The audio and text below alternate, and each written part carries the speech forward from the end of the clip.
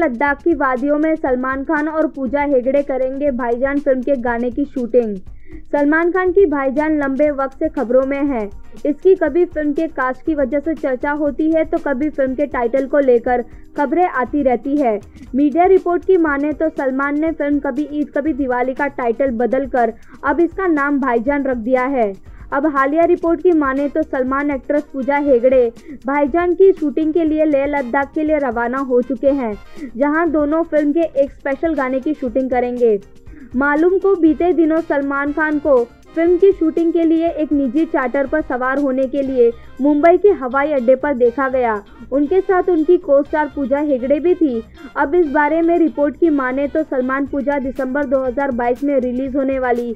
भाईजान के रोमांटिक गाने की शूटिंग के लिए लेह लद्दाख के लिए रवाना हुए हैं। रिपोर्ट में सूत्रों का हवाला देकर बताया गया है कि दोनों लेह लद्दाख के कुछ वर्जिन लोकेशन पर शूटिंग करेंगे।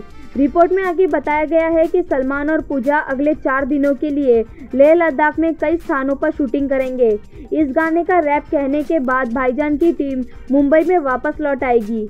मुंबई में करीब दो महीने में फ़िल्म के कुछ स्पेशल सीन और एक्शन ब्लॉक की शूटिंग करेंगे और अक्टूबर के अंत तक इसे फ़िल्म रैप कहेंगे।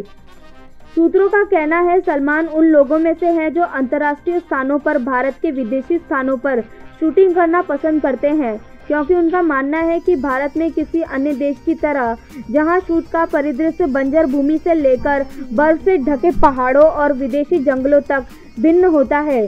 जब टीम भाईजान के रोमांटिक नंबर की शूटिंग के लिए लोकेशन की तलाश में थी तो सलमान ने लद्दाख में शूटिंग का सुझाव दिया। भाईजान इसी साल 30 दिसंबर को सिनेमाघरों में रिलीज़ होने वाली है। फ़िल्म में सलमान खान और पूजा हेगड़े के अलावा वेंकटेश और जगपति बाबू भी लीड रोल में देखे जाएँगे। अटकलों की माने तो फ़िल्म में शहनाज गिल जस्सी गिल और सिद्धार्थ निगम जैसे कलाकार भी दिखाई देंगे।